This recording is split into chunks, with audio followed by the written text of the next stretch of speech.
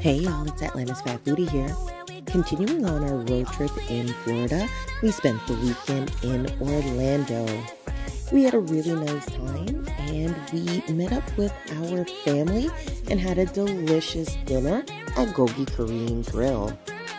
Although there were eight of us, we got the dinner for six and there was plenty of food left over. We started with the Korean fried chicken for appetizer and take a look at all that meat. It was amazing. We had the beef ribeye, the gogi beef short rib, beef brisket, jumalak, jumbo shrimp, chicken breast, pork belly, gobi, and pork short rib. Everything was delicious and there was plenty of food. If you stop by, let them know Atlanta's Fat Foodie sent